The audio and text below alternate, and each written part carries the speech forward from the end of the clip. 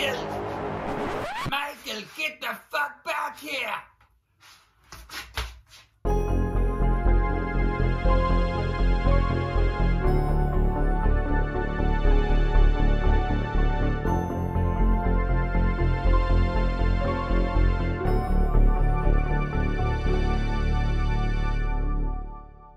So basically, I want to give you guys a quick update. We posted at the end of last week the top 10 worst horror movies I've ever seen. Please watch it if you haven't yet. It's a total shit show. The reason I'm coming at you guys today is because we are doing something new as of right now. We're trying some release schedules. We're going to see what works best because we are so close to 1K. Once we get to 1,000, I can bring you guys live streams whenever. And believe me, a bunch of random shit pops up in my head all the time. So I fully intend on giving you guys a bunch of random live streams for us to have conversations and to break news to you so you don't have to wait for these full length videos. What we're working on is pretty freaking cool.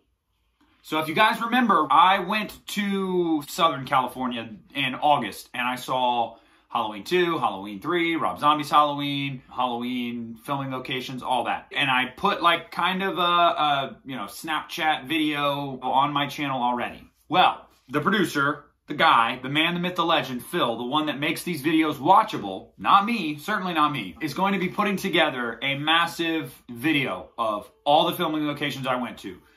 Pictures, videos, music, all of it into one video. And we're going to have a massive visiting the Halloween filming locations from this past summer. Halloween, Halloween 2, Halloween 3, some of Halloween H2O, and Rob Zombie's Halloween. With COVID, a lot's been different in the world, and we know that over the past year. We haven't been able to go to horror cons. We haven't really been able to travel as much, or if we have, there's been a ton of restrictions on what we could do when we traveled. I wanted to give this to you guys in the best quality I can, so you guys can kind of feel like you were there.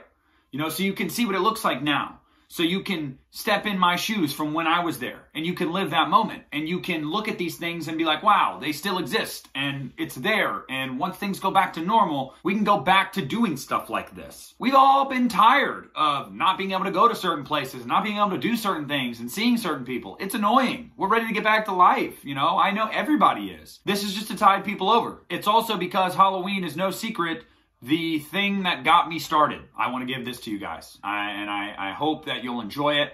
I, I, know I had so much fun going there, and I know we're going to have so much fun putting it together uh, in video form for you.